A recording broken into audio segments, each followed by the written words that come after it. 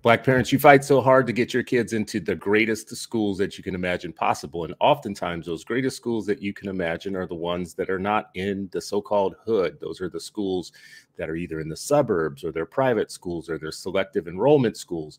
These are schools where you think that you could put your kids into the safe harbor of uh, high achieving students, a sea of high achieving, uh, achieving students, and high academic performance. So these look like it's the promised land but is it really? We're going to talk about it today on today's Freedom Friday show.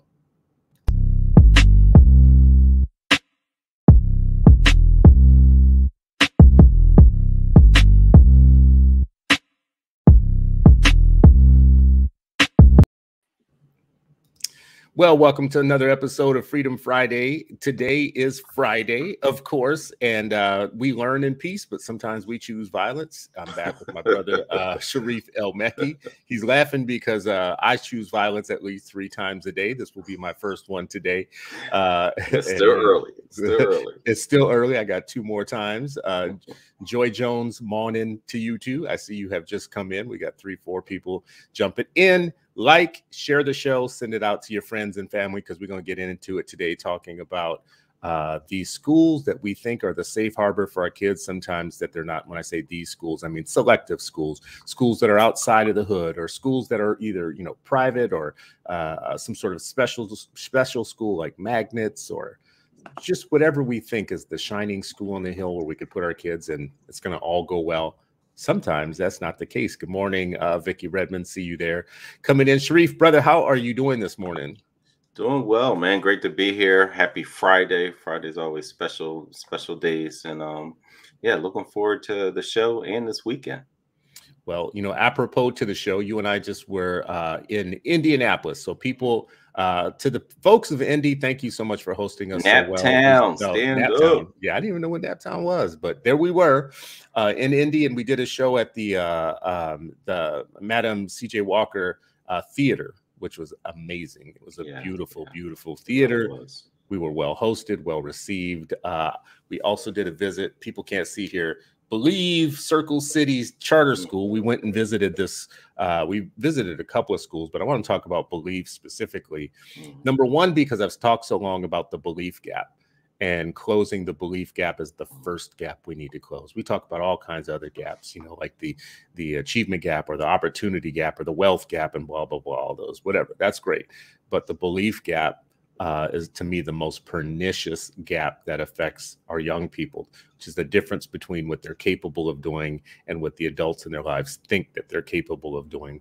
And there's a big gap between those two things.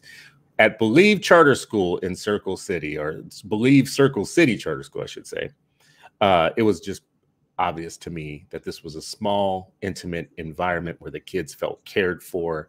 Everybody knew their names. Um, the school leader was strong, effective, motherly, uh, caring, nurturing. Um, these kids had people checking in on them all the time to see how are you doing, not just in school, but outside of school too. Um, we met with a total of five students uh, that we got to speak one on one with, and uh, it was amazing it was it was just yeah. I felt great about it. How'd you feel, Sharif? Man, I love I loved it. I, you know what? I think that's my favorite part. You know, sometimes it's hard going in other people's school now that I don't have one. You know, I'm just like, mm-hmm. oh, I miss it so much. You know, but I, I was able to like, you know, manage my emotions uh, while I was there and just really be in the moment. You know, um, and I just enjoyed speaking to to them and you know hearing these young men. You know. Um, mm-hmm. You know, compare their experiences to that of their peers um, compare their experiences at Believe compared to where they may have been. Um, and, you know, my biggest takeaway was just like, this is how you intentionally build a school community, mm-hmm. right? Where there's mm-hmm. trust um, and there's challenge, right? Like, it's not just, oh, you're going to be here, you're going to be safe and comfortable, you're going to be safe and brave, and we're going to challenge you, you're going to take risks, we're going to be here to support you, and we're accountable for your success. Mm-hmm. That, mm-hmm. That's the adults feel like no I, i'm actually responsible to you know for outcomes. I am going to push and challenge myself and i'm going to push and challenge you. But the students responding and also saying yeah but i also have ownership. I have agency right? Like that was mm-hmm. three of their pillars was agency acceleration and autonomy Look at you remembering all the pillars of the triple. A, baby, triple A. Look at you. Look at you. Yeah, I mean, yeah, but I think yeah. you know, and it, it wasn't just something plastered on the wall because a whole lot of people have beautiful words and beautiful websites mm-hmm. and beautiful posters. But I could hear that even before I saw it on the wall through our conversations with the with these young men.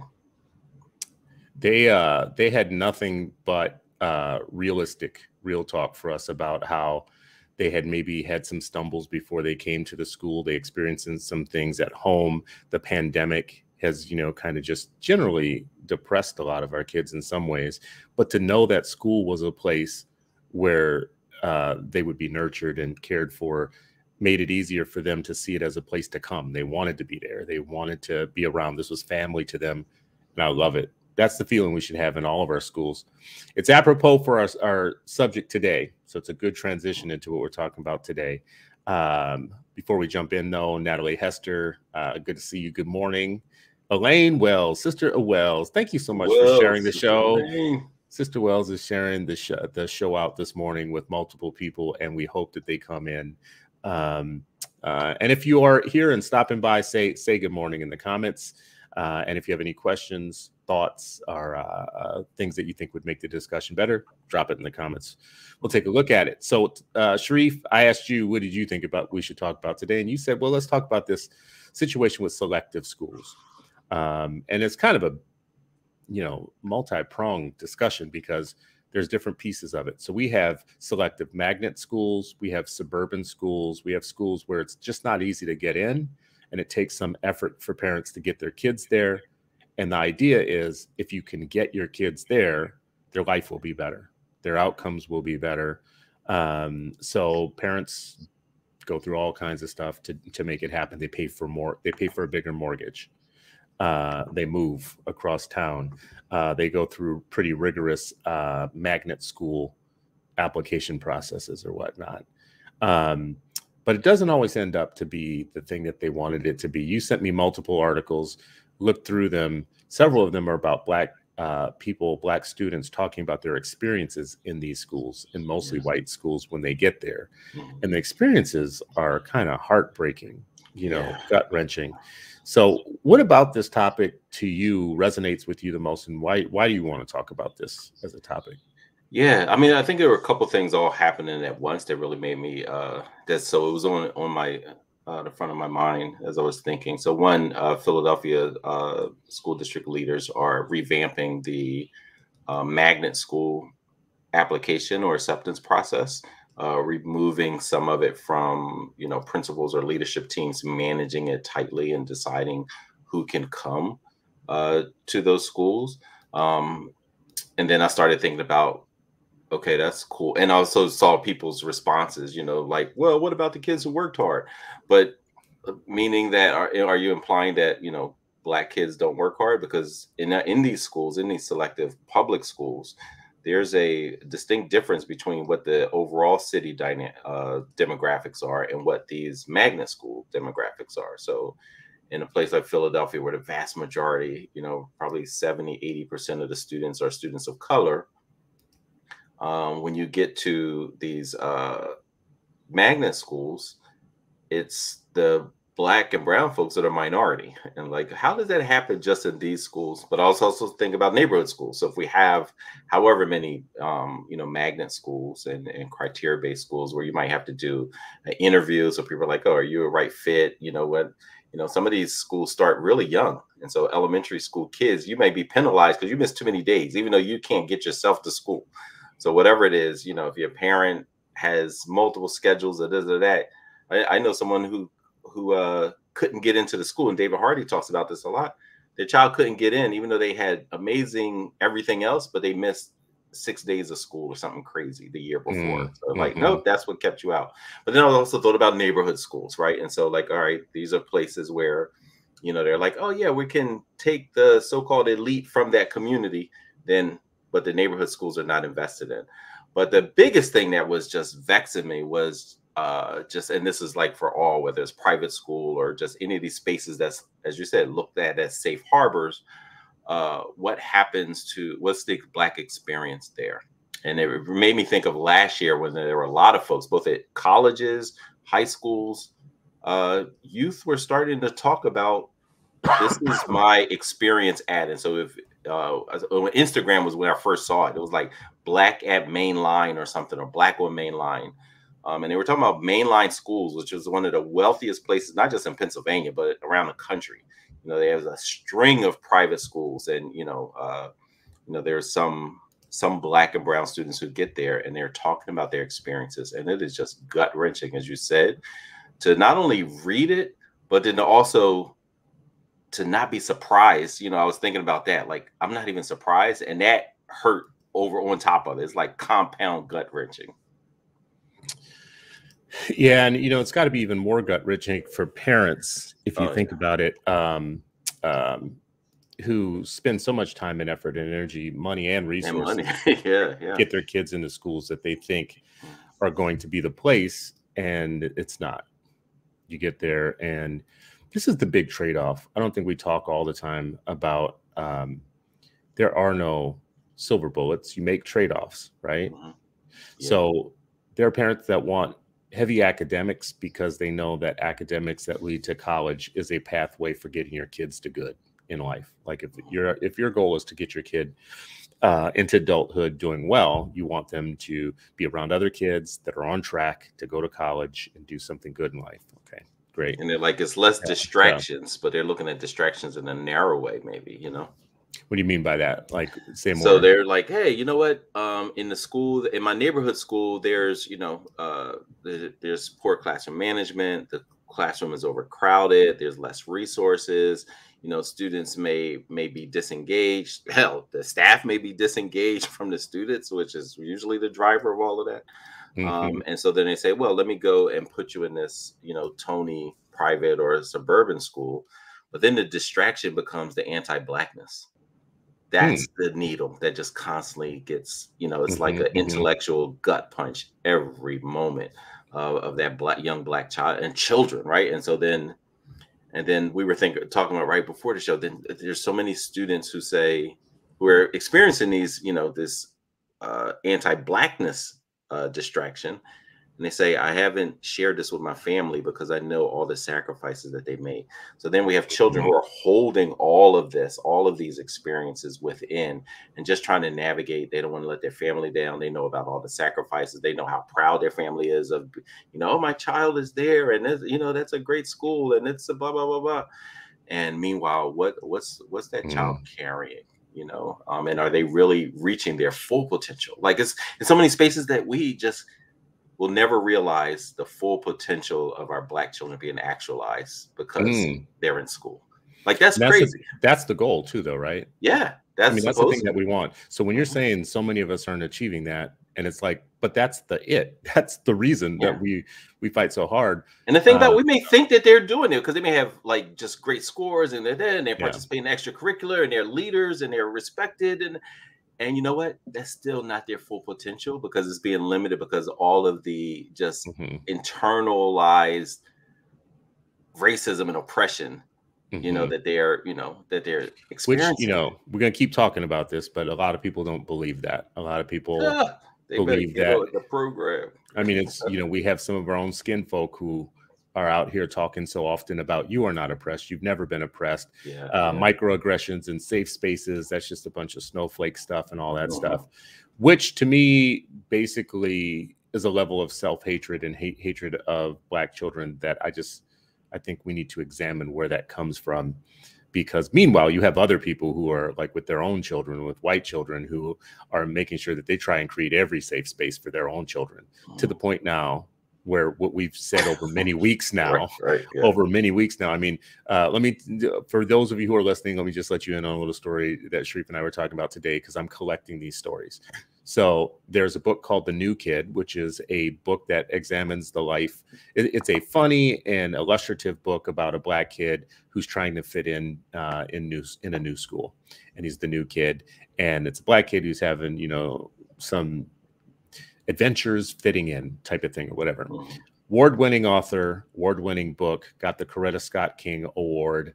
uh, author was invited to come and talk to students at uh, the Katy ISD Independent School District in Texas, and that now has been revoked.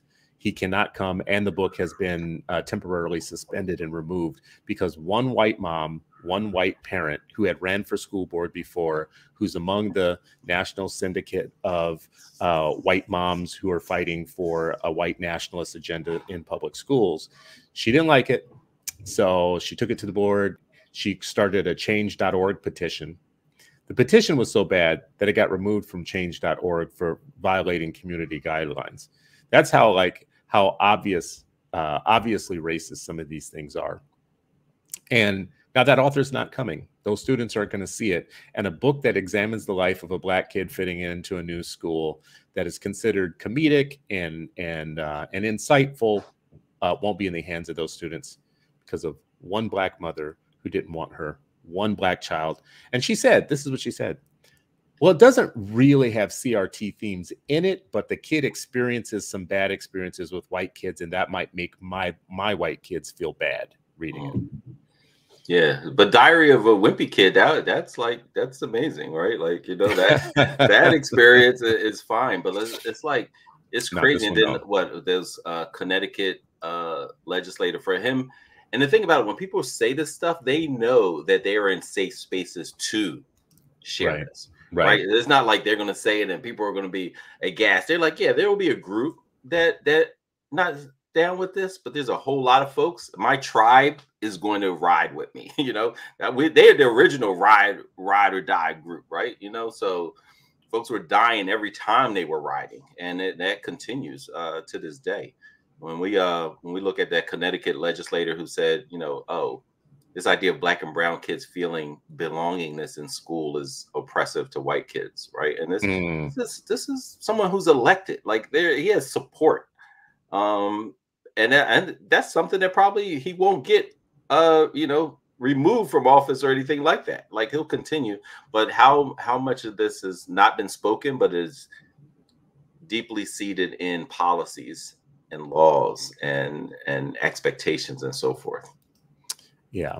And we we are not doing i think a very good job of um of fighting back on any of these things i think part of it is because we have our heads down and we're just trying to get our kids the best experience and we've already accepted that the thing is racist and that it, it, just is what it is. So saying that anymore isn't the way to go. It isn't like a strategy for success.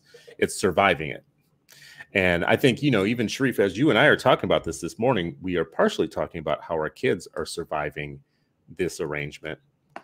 Mm-hmm. But we're not really talking about how parents are surviving it too, because in the back of our minds, we know we're making some trade offs. Yeah. We have some worries. We know that when we put them in one of these schools where we know they're going to face all kinds of micro and macro aggressions, mm-hmm. mm-hmm. we know we're making that trade off. Yeah. Right. But it's not like we feel like we have a lot of options. What's the other option? To go to hood schools where nobody can read?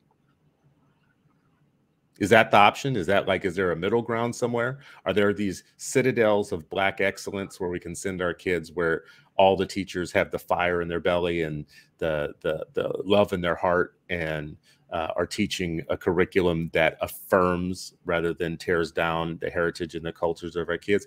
Show me those schools, and I'm ready to go. Mm-hmm. right. So few, so few. Yeah, so and few. I, I think those, uh, you know, and what you described, you know, for for families, you know, and like the angst of like I'm sending you here, and and you're doing it before you can even have conversations with your child, right? That kid going to kindergarten, first grade, or whatever and you're in a place like Lower Merion, right? And basically, this is a little dated, but 2016, Lower Merion had the fifth highest per capita income in the country mm. with a mm, population mm. of 50,000 or more. Fifth mm. highest per capita income and 12th highest median household income, right? So we're talking about like like super you know wealthy space and every you know these kind of uh, pockets are all over the country and so you get there, you're like, hey, well, I want to, you know, there's violence here in this neighborhood I grew up in. So, hey, I'm going to move here or this, or the school is better and it's, it's pristine, it's Tony, suburb, all this stuff. And yet you're in the back of your mind, what's the racial stress of knowing, like, man, my kid is going to go through this. Mm-hmm. And then what's mm-hmm. those, what are those conversations? You know, when we had Hilary Beard uh, last year on the Eight Black Hands, one of the things she talked about was working with families who were going through this. You know, um, she co-authored a, a, a book um, that describes the experiences of, of a couple of young black boys um, in private schools and what their experiences were like. But she also talked about, you know, th- from that book, she's just been doing workshops and working with families who are, you know, dealing with this, as you said, these trade-offs and the, the emotional and racial stress of putting your child in mental harm's way, um, maybe physical, but but certainly mental, where they may get their hair mm-hmm. cut because they look a certain way, or they may just constantly have these disparaging comments made about them and to them, uh, what the expectations are. Katira Moore, Dr. Katira Moore spoke about this last week with her, um, or a couple weeks ago with her daughter, uh, being told like, "Oh, you can't do math." Placing, taking a test and placing into a rigorous math course only to be met by the teacher like, "You don't belong here." Like in 2021, like this isn't old stuff. They were like, "Oh, that was in the 50s or the 60s." No, this is yesterday. This is today, and it's tomorrow. Mm-hmm. but Hilary Beard spoke about kids who actually started having, you know, real frustration towards their families because they were high school they said, My family never talked about this, never prepared me for this. And I was going into, you know, like a coliseum of racism, is how they mm. described their school. Like literally being in the pit. Wow. constantly uh, being in that space. And the family, like, oh, well, I, I, I didn't know. And I'm just like, oh, coliseum wow. of racism. That is yeah, you describe your school in those type of, of fashions, but that's what it is. That's what it's like for way too many folks. You know, um, I have up uh, one of the the articles that you sent to me to read. Uh, it's called Black At Behind the Movement to Expose Racism Facing Black Students in Mostly White Schools. People looking for it.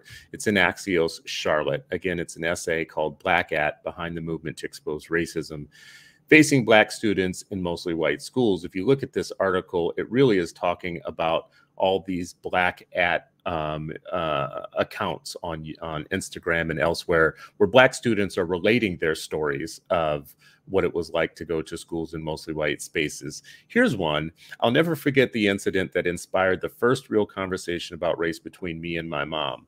I was five. She just picked me up from ballet class where one of my one of the other five-year-old ballerinas pointed and laughed at my skin, uh, laughed at me because my skin is in quotes the color of poop. Um, she goes on to talk about how she never really forgot that, and she never really understood why it was necessary to point her out like that. Here's a picture of her with a little beautiful self with these other little kids that um, that's supposed to be the Valhalla, the the end all, the be all, the integration story or whatnot. Um, in seventh grade, uh, an eighth grade student got on the bus and screamed, "Hey, nigga, your granddad picked the cotton in my shirt." Seventh grade, right? you think, oh, what's the big deal, Chris? You know, just get over it. Life is hard. Kids say all kinds of bad things to, to people. Now, someone might tell you that. And then there's me, who's a parent, who says if my seventh grader comes home and says that some eighth grade white kid jumped on the bus and said, Hey, nigger, your granddad picked the cotton in my shirt, uh, I'm going to take it a little bit different. I don't know how y'all going to take it or whatnot. That's going to be a problem uh, for me. Um, growing up in a mostly white survey, uh, suburb, I'm sorry, I was seen as a token. Many of my white teachers, almost all of them were white. Uh, my white peers and their white parents saw me as one of the good seeds in a sea of bad apples. So it's not just the microaggressions around um, uh, you are somehow deficient. It could also be the opposite, which is most black people are a problem, but you're a good one. You're one of the good ones. And then you start uh, looking to be stroked that way and petted that way. So you become, for white audiences, the Candace Owens of the white audience. This is where Candace Owens has come from, mm. uh, besides places of deep ambition and personal greed. They also come from these situations where they, where they learn how to play to an audience to be one of the good ones the good seeds. But even that has to strike down in you a piece of your your racial pride uh, in your people, because what you're telling yourself is somehow I ended up being one of the good ones, but black is still bad, and black mm-hmm. people are still uh, bad overall. What a crazy lesson to learn. Yeah, man.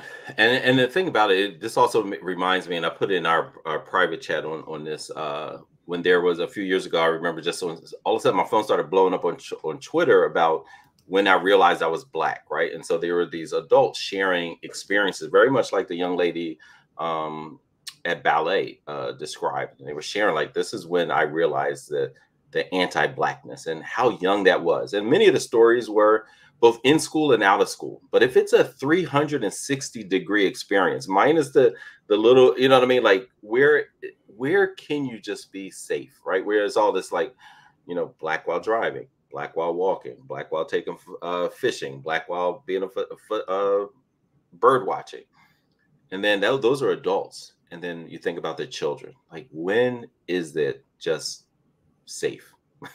like when mm-hmm. you know when you really think about that, um, it's it's nuts. And so this hashtag realized I was black was all about you know adult sharing. This is when I first uh, recognized uh, this. Um, and then you look at the, the that main line one, um, Black Main Line speaks out or something. I put that in the in the chat too, man. It was just, I mean, you they're just snapshots of all these experiences, and what you see are there are a lot of folks who just get defensive. They don't want to hear they you know, the same one side of their mouth they're talking about. We want to hear student voices. It's, a child shares their experiences. They're like, "Oh, stop complaining. It ain't that bad. You know, work harder, or whatever. You know, toughen up, whatever it is." Right? It's this negative reaction to students sharing their lived experiences, and it's it's crazy, man. And just, when you think about a child from that child's perspective and their peers' perspective, right? Because they they might think like, all right, maybe it's just me, but then when their peers, they're like, oh, it's pervasive and help is not on the way. Mm-hmm. And you've left me here. So, I mean, uh, you know, we don't see our kids. I say this uh, oftentimes, and when keep saying it, our kids are living existence in the day to day that we know a piece of it, but we don't get all the insights. So they are on this level. They are mm-hmm. operating, they're walking through hallways, they're interacting with teachers. Like if you had like one of those cameras on your kid where you could see what they're seeing, hearing, and experiencing all day long, you yeah. would probably get some insights you don't have right now. Uh, and Which some folks got during the online learning of of uh they got a piece of it. A piece, little. They got a piece of it. Mm-hmm. Yeah, they got a piece of it, and and uh, specific to black students who are in mostly white schools are schools that um, have a, a, white normed um, frame for for existing, um, those kids are living and, and experiencing things that I, am for sure their parents don't always know about. As we're feeling all self-important about, oh my God, I worked hard to get here, and you know, look at us, we got the little mortgage, and we got our kids in the house and everything, but not your kids experiencing something every day that uh, could be destructive. The, this I put up here what you had just talked about the Mainline Speaks account at Instagram. It's called Black Mainline Speaks at Esther. if you go, go to Instagram, you'll look it up. It's got 22,000 followers, and it's all these stories of um, of people, you know, saying what it was like to be black in different places. And here's one from Agnes Irwin School alum, 2019. Um, a few days after the Unite Unite the Right rally, a group of students created a group chat titled Cool Kids Club, all spelled with K's, KKK, and added a number of Jewish, Black, Hispanic, and Muslim students to it, right? And then, you know, you had stories coming out of like students participating in a Snapchat slave auction of all the Black students in their schools. And it was discovered uh, by an adult somewhere. And, you know, the white kids in the school were literally doing a, a trade of a slave auction trade of their black classmates in the school. You can add up those stories. They just keep adding up, adding up, adding up. You can pretend like they don't exist. You can gaslight us and pretend like it's all in our head or we're making too much of things.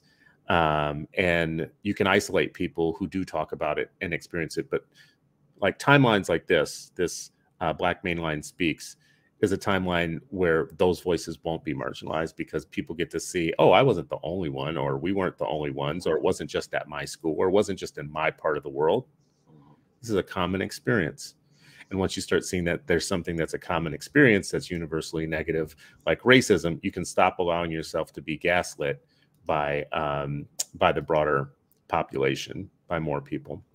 Uh, Sharif, you know, kind of like this trade-off thing though is important to me in that I think at the end of the day, many black parents are still going to say, I'd rather put them into a microaggression citadel of racism if they can survive it and come out the other side with what they need to go to college and get out of college and buy a house and have a job and buy a car and then you know live life on somewhat on their own terms versus sending them to many of the schools that are available to us that are the opposite where they might be more somewhat culturally affirming somewhat.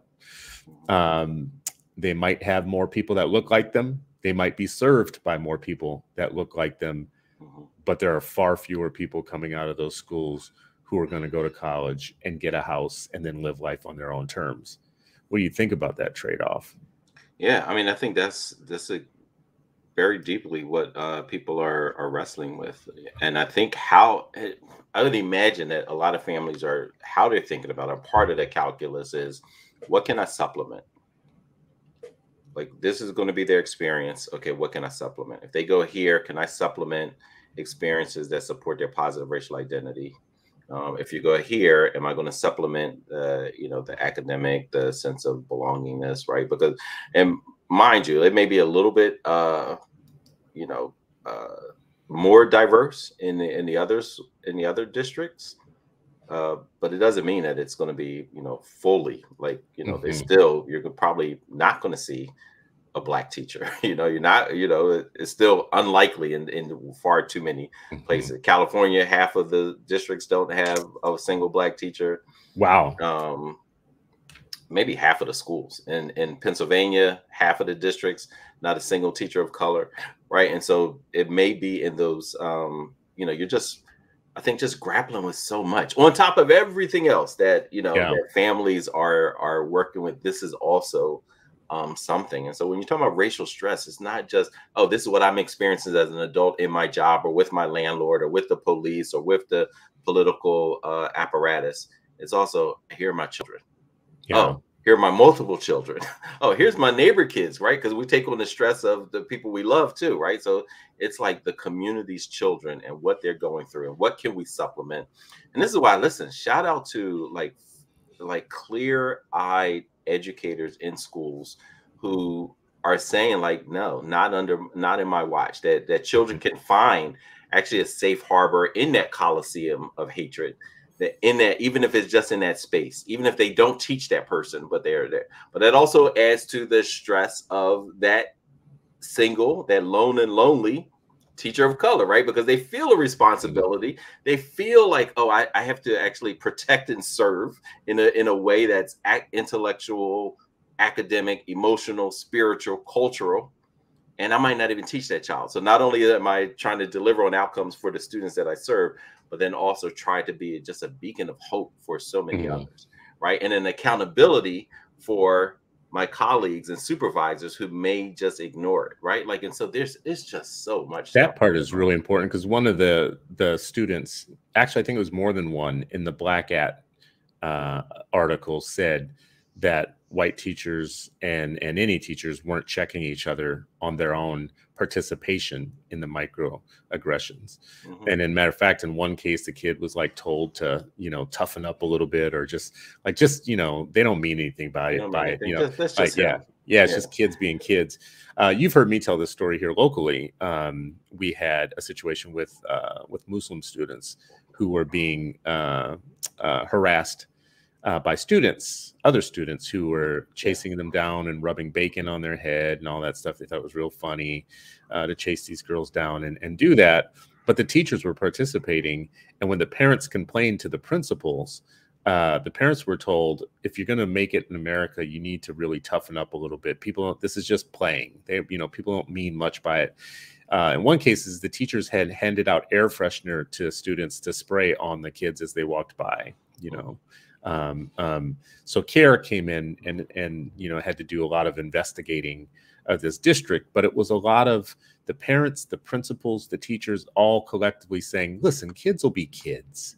just let them be kids. You know, they, they, this is the type of stuff that you know. Don't be so sensitive. So, uh, I see Vicky Redmond here has a quote that just has my hair on fire. She says, "In junior high school, my homeroom teacher insisted on calling me Victoria. I kept telling her my name is Vicky. She responded, your mom named you Vicky because she couldn't spell Victoria. When I responded, she called the principal. He called my father, who, by the way, is a black teacher, and the superintendent came, they didn't want publicity. Now, imagine if her father wasn't a black teacher who came once getting that call. Um, she would still be being called Victoria, supposedly because her mom couldn't spell Vicky. Can you imagine the kind of slaps that need to happen in a situation like that? I mean, and that's the thing. Like we all look at these uh, images of Linda Brown and Ruby Bridges and them going through just like outright hostility, terrorism you know, terrorism um, attached to schools. And for some reason, we think like it all just disappeared just because we don't have mm-hmm. those images. There's a veneer that that's placed right on on top of that, and like those those images prevail. It, it's the the experience prevails. It looks maybe yeah. a little bit differently, not as public. You know, uh, 60 Minutes and and you know and Dan Rather, they're not you know stooped out outside with you know paratroopers and all that but they experience, the psychological yeah. beatdown uh, that so many children of color experience in what is supposed to be in a civilized place, a school, you know, a mm-hmm. community. Mm. It's the exact opposite. It ain't a, it ain't a community for them. It, it's literally a minefield, and they're just trying to navigate and graduate and and try to reach their aspirations um, once they get beyond uh, that particular uh, place. But all they're doing is going to another. It's like practice for mm-hmm. anti-blackness in the real world, right? Like that's mm-hmm. what school is. It's like, hey, here's your practice. Damn, that's deep. Anti-blackness, and now go out in the real world and see if you can survive. You know, like that's. That's you know, the moment that that black child discovers that that's their situation, they have to start questioning. It's it has to start a different level of cognition. Wait a second, this idyllic place where I am the school where all the kids are, where we're supposed to play and have fun, for me has this additional thing. I just learned that five minutes ago, right? Like, let's say the moment a kid discovers they have this microaggression that starts shaking the foundation of their place there, they have to then wonder about the people who put them there. And like, this is kind of fake. Like, you, you know, this is, oh, I see now, not everything is rainbows and glitter. This is, you know, so that first realization to me has to i think in my mind has to do damage um, from that point on i'll make that point the other point i want to make is that you know we have like sister toya mama toya in the in the feed here who would probably be screaming at us to say like listen you know i paid money to put my kids in one of these you know catholic schools thinking that it was going to be all that and it wasn't all that you know? So uh, not only are you um, you moving making moves you're actually it's costing you money to do it only to figure out that it's not all that you thought it was.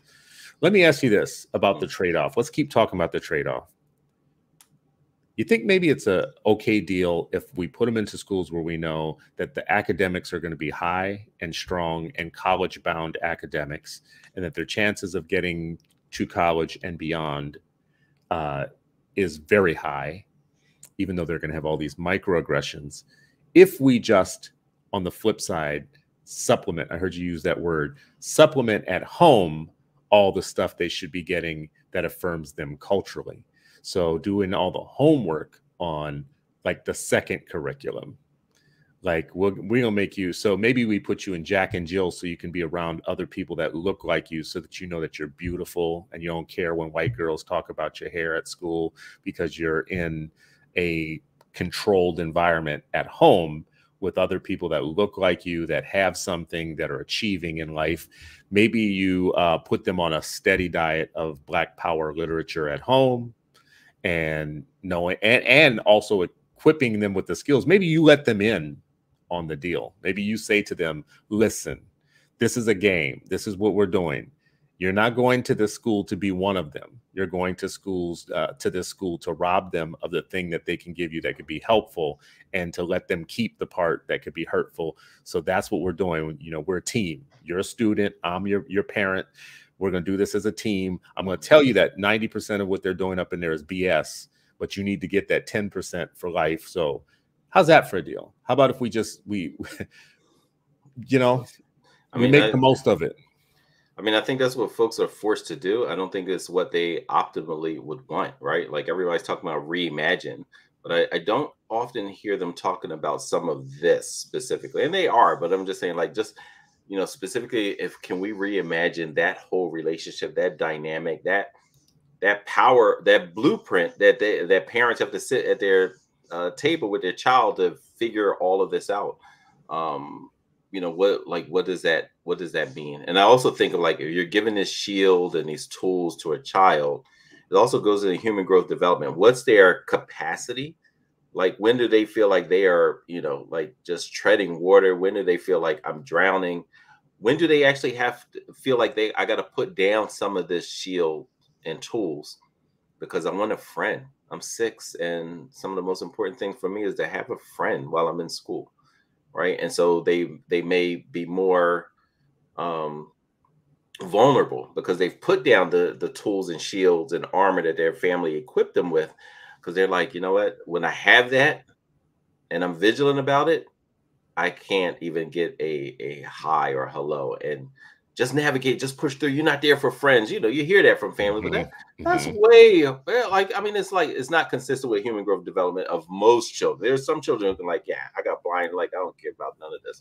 But when you're talking about like in masses across the spectrum, um, every child is different. But you know, uh, human nature is is often that they want some type of companionship, some type of uh, you know friendship, and yeah. and so I, I, just think it's it's uh you know, I just think it's really, really hard um, in those uh, circumstances, any circumstance, right? Like it's. Uh, oh, and then then they become their own little colony within a school. Like they look mm-hmm. for the other people like them, and then you have a white school where you have a handful of black students who have to be each other's you know, kind of back. Maybe, yeah. Because some of those are right. Like you may you may say like, "Hey, we're in this together." The other one like, "Nah, I'm not really like you. Yeah. Like you, you are. You deserve some of this. I'm actually trying That's to. True. I'm trying to fit in, and you messing my game up. You know That's I mean? True. You, you do have some young black Republicans. You have some yeah, colorism. Like, you know, you have some classism, classism. Yeah, oh, yeah. Oh, oh, I was here. I've been in private school, you know, for a few years. You know, yeah. my entire experience. You just got here, so you are an outsider. You don't belong here. Yeah. Right? And imagine experiencing that as the new child. I mean. Oh man. You know, in, in one of the articles that you um you sent me an article that in it, it was talking about how black boys are fetishized in some of these schools, especially if they're athletes, mm-hmm. and people are trying to adopt some some proximity to them for their cool. They're like trying mm-hmm. to like live a little bit off of their cool, and it's easier because they're in sports and whatnot. Black women, our black uh, youth, women, female girls, um, are facing a different uh, experience in those situations. Even when they're athletes, they're not getting the same accolades. It's not mm-hmm. cool.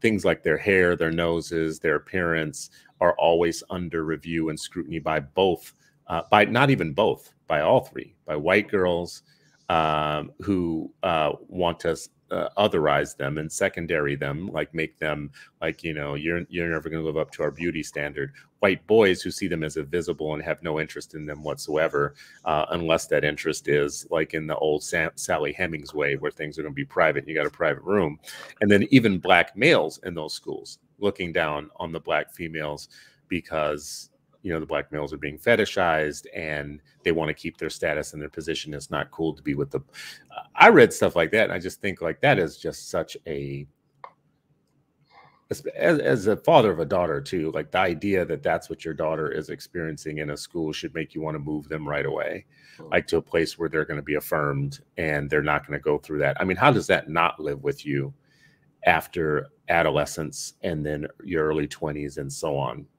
it's crazy. Um, Brother Gaskins here says, I always wonder what sort of parents would send their child to a racist school like they allowed Ruby to experience. The power of parent engagement and training had little Ruby seeing white folks as broken versus anything being wrong with her. Today, without a home, without that home training and engagement, it's the other way around for our children. Um, and uh, I don't know, Brother Gaskins, I have to say, like, I, I'm with you when I think about the parents that are fighting for integration as the only thing that will save us. And there are so many of those people. I, I just wonder about what kind of self hate it takes, it requires you to be one of those people who think that only uh, breaking up the black peer effect is the way for us to go. And, you know, our only salvation is in white schools. I agree with you. I don't understand that part.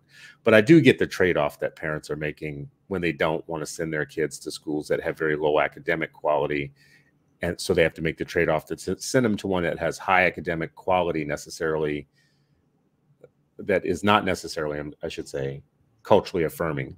I get that trade-off.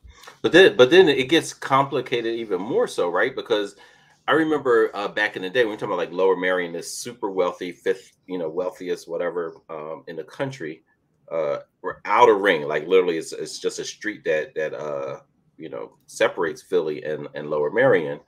you saw that you know there were many black children who actually achieved better if they were in Philadelphia than if they went to the super wealthy school right and so even if you're there it doesn't mean that they're going to have high academic it may be like i see the high academics but i still don't have access right it's like you're in, the school mm-hmm. but that's walled mm-hmm. off by glass right and so people talk about mm-hmm. glass ceilings you know for professionals there's glass walls uh, for students because they're walking by and they're saying like, "Whoa, there's an AP course I'm qualified for. Oh, there's a rigorous math honors math course I'm qualified for, but I can't get it." So it's not a ceiling for them; it's the wall of the classroom or the classroom door that they can't penetrate, right? And so it's uh, mm-hmm. yeah, man. Yeah, that uh, actually, too. That that is a we don't we do not talk about that enough. Like within school inequity, even though you got into the school, what you just said I've seen many times, many mm-hmm. times over. You're in the school, and but there's a separate place in that school for you. Uh, Minneapolis, I'm going to call you out. In Southwest, one of my first visits to Southwest High School, which is the wealthier, whiter Southwest Minneapolis high school in the part of town that people want to live in, where you have the lakes and the, the nicer houses or whatnot. That high school uh, a student actually was my first invitation to come there who said, I want to show you something. And I came to the school, and the black kids and the white kids would come through the same front door or one of multiple front doors, but they would go different directions once they got in. And all his friends were going the other direction. He had uh, black and Latino friends, and they would go the other direction. And there was a hallway in which they would go to that had a second building to it. And it, it smelled like chlorine because the, the pool was right beneath it and over chlorinated. And one of the other students said to me, Yeah, this is where they put all the stuff that they don't like the kids of color, the gay straight alliance, all those type of things, a special kind of um, um, ethnic clubs or everything were housed in that building where it smelled like chlorine. And I thought, this is in modern times. This is in modern times in one of the it schools. This was the only high school that you went to if you really were one of those parents who either I do this school or I go to private, right? So even within that school, there was a pretty serious uh, separation of the races and segregation. One of the students, when I came back, who gave me a tour, was able to give me a tour because she had been left behind on a field trip she couldn't afford to go on. So her entire class was at a Japanese garden somewhere learning about Japanese flowers, and she didn't have the money to go on the field trip. So she was left behind at the school, which gave her the opportunity to give me a, uh, um, a, a tour.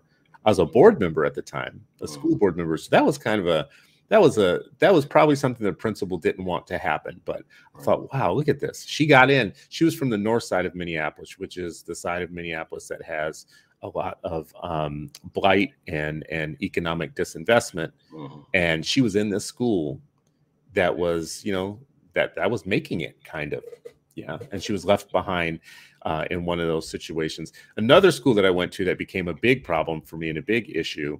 Uh, a parent had get, related to me that her daughter related to her that she had a friend, but she only gets to see her during one period or lunch or something like that or recess because she's one of the brown kids and she gets with the brown kids. And um, her parent didn't really understand what that meant until she yeah. volunteered at the school but they had a so-called Spanish immersion school. But what they were doing were they were putting all the Spanish-speaking uh, uh, Latinx kids together for the full day, and then for immersion parts, they would bring the white kids in to have some experience with them or whatnot. So they were getting the experience of those kids. And I told the principal, "Oh, so that's your human petting zoo." Mm-hmm. That's what you've basically created in your school. You you have the kids here, but you're not integrating them within the school. But that was one of the best schools in the district. Not one of, that was the best school in the district, the one that everybody fought and even bought, got attorneys to get into. So these uh, Latino kids were supposed to be happy that they were there. Just to be there. Yeah. Just to be there, even though they were only there to serve as color commentary for the for the other students. Yeah, I mean, you mentioned earlier you, you made a point about the uh, the impact uh, that it has long term. You know, both consciously and and uh, what's really scary is the unconscious um, absorption of all of this. And I think that was the whole point of that uh, hashtag realized I was black, you know, uh, initiative. And I, I, think about, you know, I can't help but to think about my grandparents. I've shared this so many times, right? Like, you know, six, eight children between paternal, maternal grandparents, and they all uh, were trying to find ways to get to their children into a school. And so they made the calculus, as you said, like, hey, you know what? They're going to be racist and it's better than the school across the street. Um, and we'll we'll supplement as much as we can. But I, I remember, look, my mom got kicked out of boarding school. I think in second grade, right? You know, um, my my father talks about his experience, and his siblings talk about it, their experience in Catholic school. You know, my mother and, and aunt as well, right? And so it's uh, it's just it's like it's never ending. There's no such thing as like, oh, it's it's okay now or this is it like just the vigilance that's required um is it's it just is unbelievable when you really wrap your mind around like it is it's, it's almost like the uh, action talking about mission impossible black child going through school intellectually culturally emotionally safe we don't need a movie we got reality. That's Mission Impossible. that, that's it right there. Yeah, just to get into a school where you can be affirmed. Yeah. Um, listen, this is this is to me all of what we've talked about today. To me, is a big call out for a um, for a apolitical cultural education movement. Cultural education movement meaning we have to be uh, mindful of getting our kids an education that is mindful of our culture rather than joining teams inside. So, what do I mean by that? You and I just had a conversation yesterday uh, with school choice people about how the white school choice movement um, is a little bit adrift in understanding that you can give a hanging person a voucher, and that doesn't mean you're going to cut them down from the tree meaning we can get kids out of the mainline racist classist system of education, the public education system. But what's waiting for them after that? Are there all these culturally affirming black private schools that are just waiting for us? Here's your voucher out the fire, out the uh, pan, out the pan and in the fire, right? you got a voucher though, right? You got a voucher, and this is where I think they are so short-sighted, and they need to to um, they, well, they need to talk to Jesus just a little bit, in that they they they they they give you a voucher, which is a ticket out the door, but they don't put the the financial infrastructure in place for you to build um, your your real freedom. Your real freedom isn't the voucher. That's not even your real freedom. That's the door to freedom, but it's not the the actual freedom. The actual freedom is to own the means of production and education for yourself, to build black educational capital, and that's not already built. So you can get the voucher, and you can get out of the mainline system, but what's waiting for you? Is there some?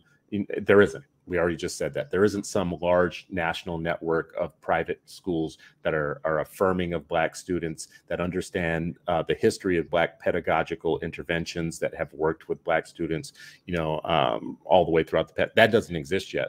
So it's great to put all your money into just changing the law or just getting you a voucher. But if the only thing is waiting for you is a whole bunch of culturally incompetent white private schools, uh, no, thank you that doesn't that's not that's a half plan that's a half step that's pulling the knife out from 12 inches to six inches and calling it progress we're not interested in that uh, and on the flip side though the the uh, public school zealots the people who think that public schools are temples and religious people, you know, about they're religious public about these good. public schools. Yeah, the, the, public, public goods and all that.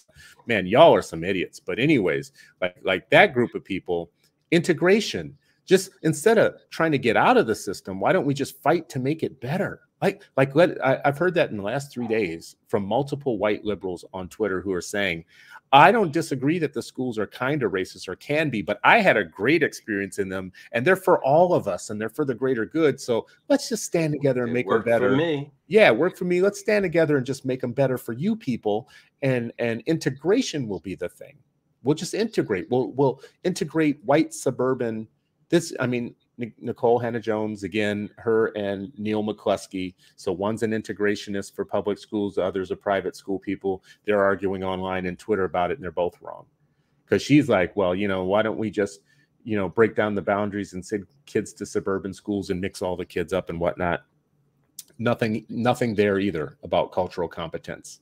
Just because she ended up at a white school in Iowa where she was amongst all white girls and white people, and she feels like that's what made her successful in life and got her to being uh, a MacArthur genius in life. Just because that was the experience she had in Iowa, racist ass Iowa, does not mean that we want to send in mass our kids to culturally incompetent white public schools either. Right. So they're both wrong. They both have a problem. Both of them have something I agree with.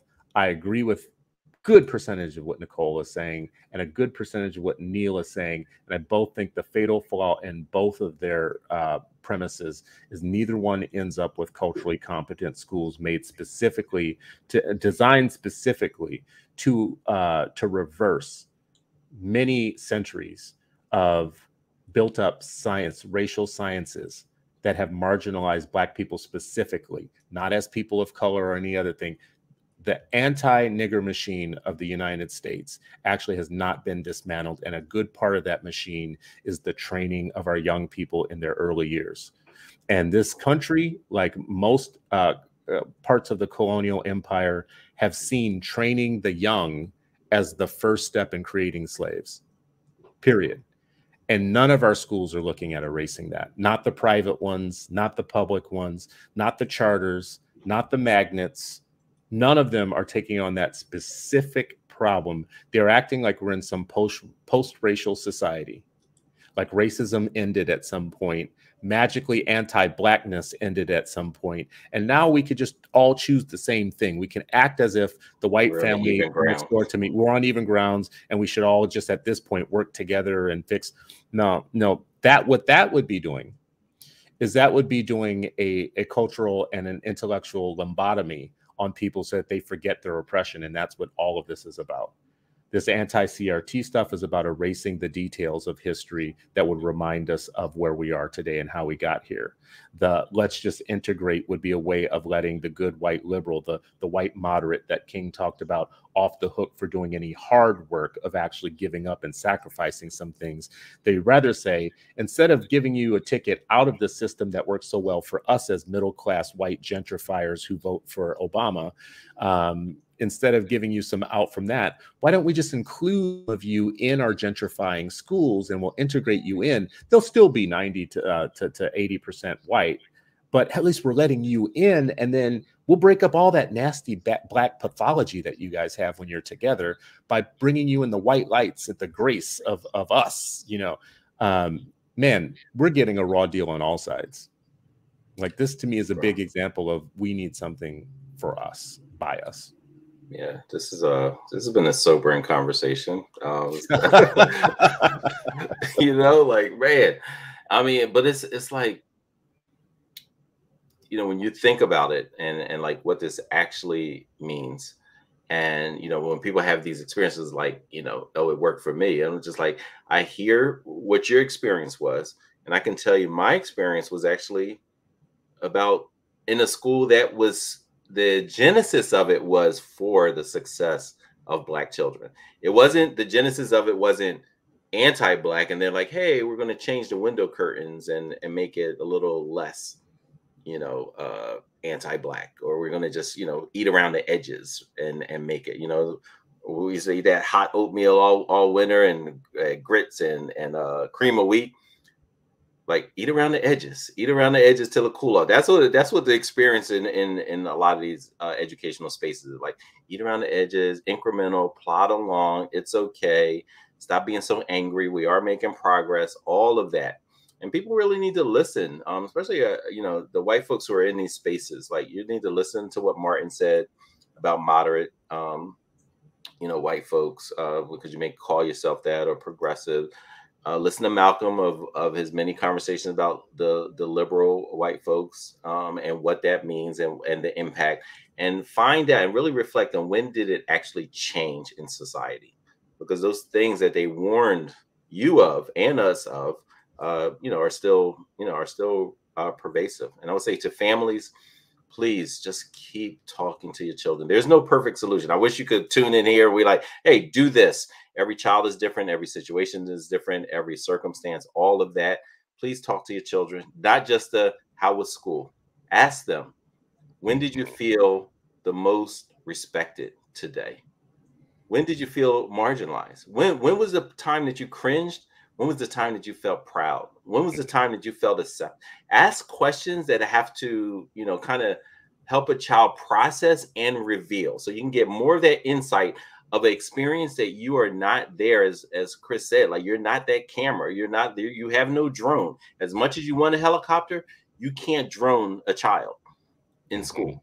And so ask the questions that are go beyond how was your day? You know how was school? What'd you learn? Um, save that for the end. First questions are how are you feeling? When did you feel at your highest level and what were your low points and why? Mm-hmm. and who who helps you feel your best? Who help who challenges and supports you? Who makes you feel loved and and the sense of belonging? Who protected you last week? Mm-hmm. and who did you feel abandoned you? And get the child to start thinking about those questions because some of them they may not even have the words to describe the oppression that they're experiencing. Hmm. i love that. Um I think actually parents probing further what you just said uh, and asking better questions is something we're not trained to do. So I think we need to hear that more. Um, having examples of what those questions should be. There's a lot of like, "Hey, how was your day?" Good. Oh yeah. Oh okay. You know, and then that's it. So these deeper questions of probing, no, no, really. Let's talk further about like, uh, let's rate your day. What would you rate it on a one to 10? Well? I rate it as a five. What? A five? Where did five points go? Let's talk about this, right? Mm. That starts a conversation. And what would it need to happen for it to get to an eight? To, like right. what, what would have had 10, right? Bro, let's yeah. think. Okay, right? yes, absolutely. No. Absolutely. Um, uh, um, Michelle Johnson um, put in the comments, she pulled out one of your quotes. Uh, There's no perfect solution. And I, I love simplicity the simple thing I think that we're talking about today is exactly that, uh, Michelle and others.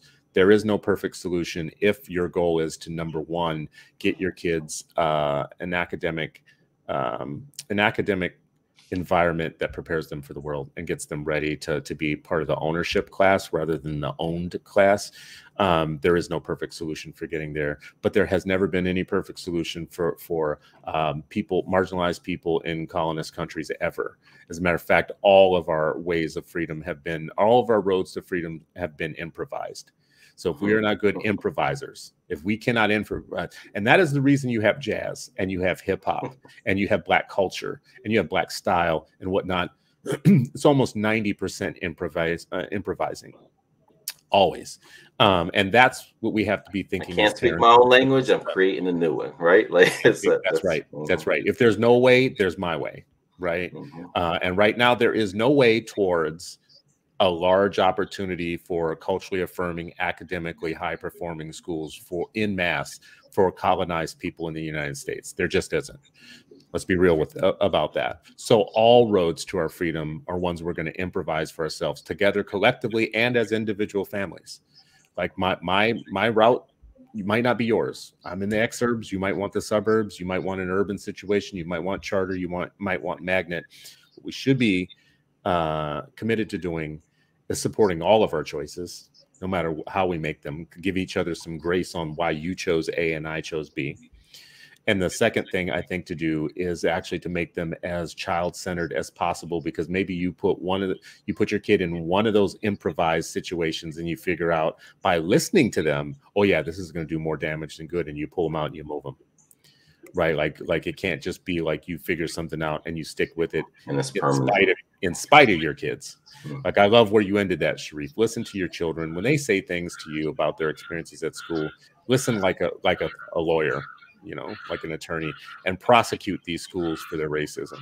Um, anyways, this has been another Freedom Friday very edifying conversation for me as always. I love these conversations week to week. We need to keep having them. I love the community of people that come and stick yeah. with us. The, the, brother Gaskins of the world, the brother Conrads of the world, the sister Johnson and sister uh, Wells and sister Jones and uh, Vicki Redmond. That story that you told today is going to have my hair on fire for like several days. So I appreciate you dropping that in there, uh, sister Jones, sister Miller thank you all for Mama uh, Toya. Mama Toya, definitely Mama Toya, always uh, who's going to get after me for this particular show, I'm sure, because of her experience of actually paying for a school that was supposed to be all that and it turned out not to be all that. So, Natalie Hester, thank you guys so much. We'll see you next week on another episode of Freedom Friday. As always, uh, this is Freedom Friday, but you are still not free. But hopefully, you're freer after this hour with us uh, than you were when we began. We love you. We appreciate you. And uh, please share this show with